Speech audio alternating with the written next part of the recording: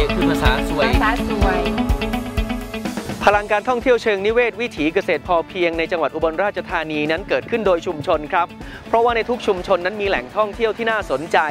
มีทั้งที่เป็นสถานที่ท่องเที่ยว และแหล่งท่องเที่ยวที่เป็นวิถีชีวิต หรือที่เรียกว่าท่องเที่ยวโอท็อปนวัดวิถีครับ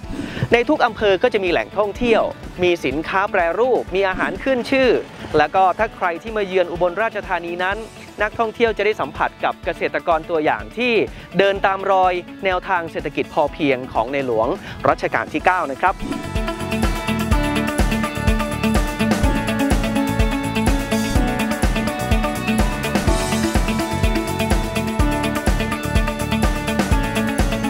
เสน่ห์ของการท่องเที่ยวเชิงนิเวศวิถีเกษตรพอเพียงของจังหวัดอุบลราชธานีนั้น